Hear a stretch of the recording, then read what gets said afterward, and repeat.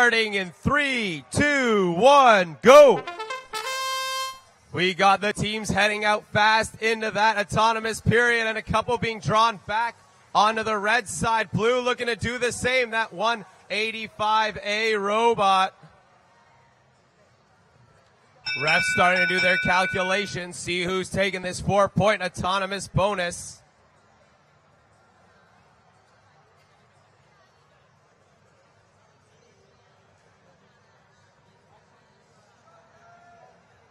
It's a tie.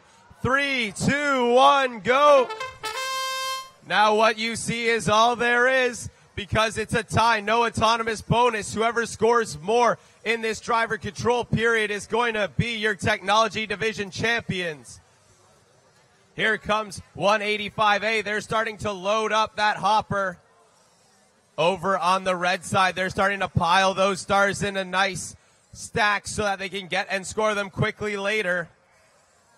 185. They've got four stars inside that hopper. Here comes number five. They're loading up quickly. We got the stacks made, those piles on the red side, waiting for the last seconds of the match. Load it on up. Can that working together, the two blue alliances getting every star that they can inside that blue robot. 72-32X, they've got a star. They drop it in. Here comes the last few scores into that robot. 42 seconds remaining, and here comes a star and a cube. 185A, they're going to start loading their height up. They're going up, scissor lift and all. 30 seconds remain, and here comes the last second ditch effort. 185, they've got the wall up.